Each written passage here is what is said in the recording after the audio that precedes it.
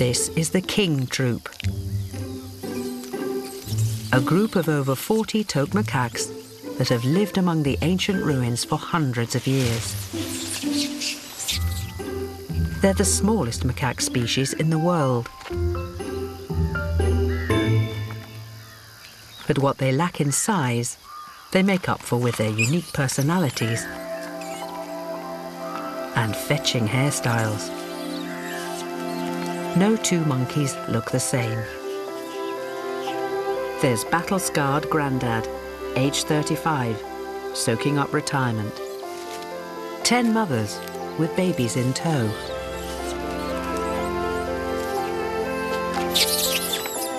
A handful of large adult males. And of course, the rowdy bunch of teenagers. Ravi is the eldest teenage male in the troop. He's six years old, sports one of the best hairstyles around, and enjoys a carefree life with the other adolescents. And his closest friend is Danu. Danu's only about a month younger than Ravi, and they've been best friends since they were babies. They've both made it through the vulnerable infant years when up to a third of toque macaques die. And they've spent their whole lives living in this idyllic temple paradise. But now that they're almost adults, their days here are numbered.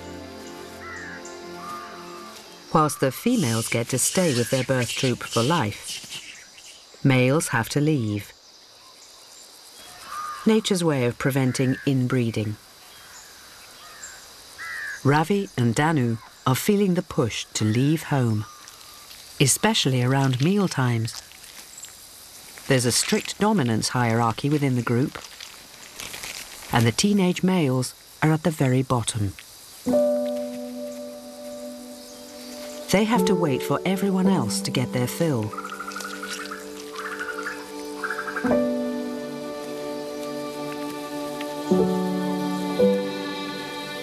Even Ravi's own mother, Jimussa, won't share with him.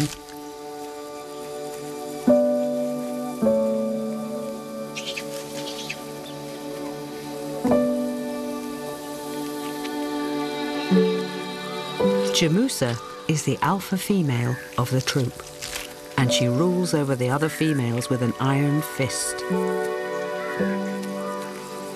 Her torn ear is a legacy of a fight that she won while defending her crown. As the son of the queen, Ravi used to enjoy a privileged childhood. But now that he's nearly an adult male, those days of favoured status are long gone.